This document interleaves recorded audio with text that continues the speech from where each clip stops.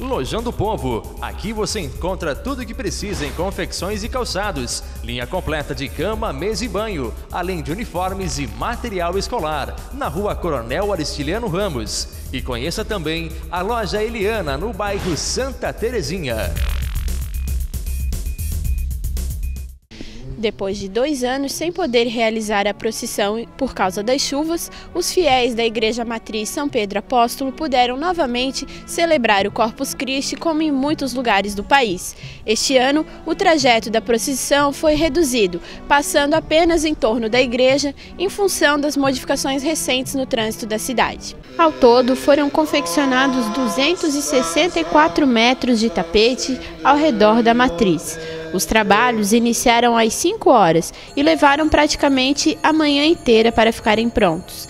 A gente conseguiu então convocar toda a comunidade, a comunidade em geral, todos os bairros, todas as pessoas assim que se dispuseram a vir e a fazer esse, esse tapete lindo, né? E assim, e começamos às 5 da manhã, às 11 da manhã já estava completo, com muita felicidade, as pessoas trabalhavam com muita alegria, com muita satisfação.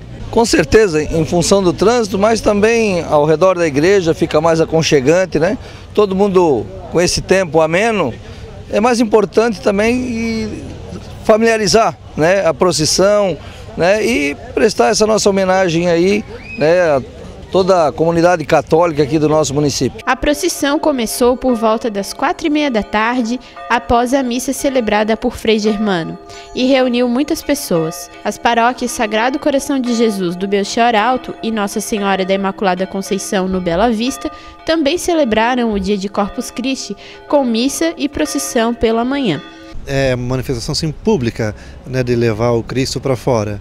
Isso já é desde o século XII que a igreja faz isso e é a maior festa religiosa assim popular.